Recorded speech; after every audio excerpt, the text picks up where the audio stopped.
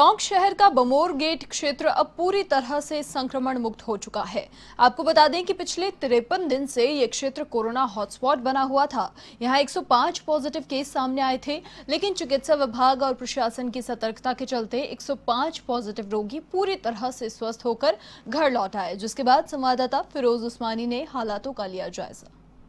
के मामले में सबसे ज़्यादा चर्चित रहा टोंक क्षेत्र का बमोर गेट क्षेत्र, जो पूरी तरीके से हॉट स्पॉट बना हुआ था।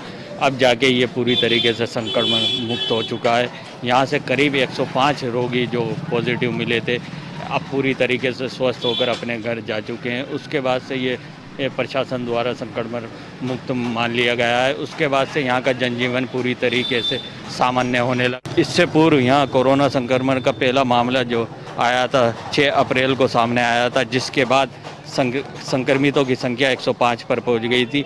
इस क्षेत्र को पूरी तरीके से प्रशासन ने सील कर दिया था और 19 अप्रैल से बमोर गेट क्षेत्र पर ज़ीरो मोबिलिटी का फैसला लिया गया था। इसके लिए यहाँ एसडीआरएफ की टीमें लगाई गई थी, जो पूरे क्षेत्र में दिन रात अपनी अलग अलग टीमों के माध्यम से ये पूरे इलाके पर नज़र रखती थी।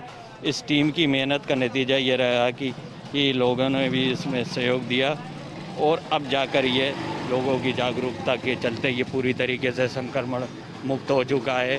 हमारे सामने इस क्षेत्र के कुछ लोग खड़े हैं, उनसे जानते हैं किस तरीके का ये पूरा चलता रहा ये मामला और आज संक्रमण मुक्त हो चुका है।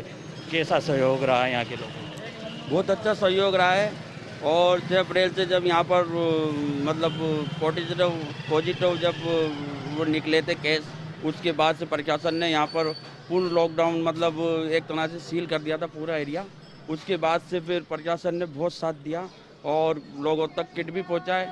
उसके बाद फिर पब्लिक ने भी प्रशासन का बहुत साथ दिया, बहुत सहयोग किया और गवर्नमेंट ने भी मतलब हर तरह की मतलब सहायता पहुँचाने की कोशिश की।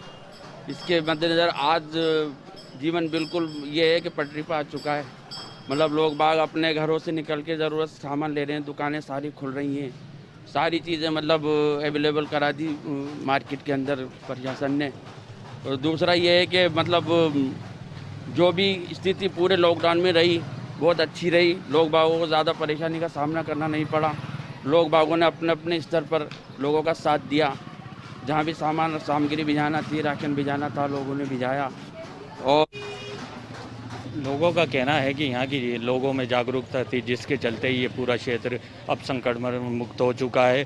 और टोंक में अब तक एक सौ एक कोरोना संक्रमितों के मामले आ चुके हैं, जिसमें से एक सौ सत्तावन लोग पूरी तरीके से रिकवर कर चुके हैं, एक सौ उनतालीस लोग अपने घर जा चुके हैं और 18 लोगों की जाँच रिपोर्ट दो बार नेगेटिव आ चुकी है।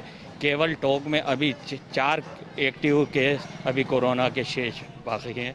टोंक से Firoz Usmani A one T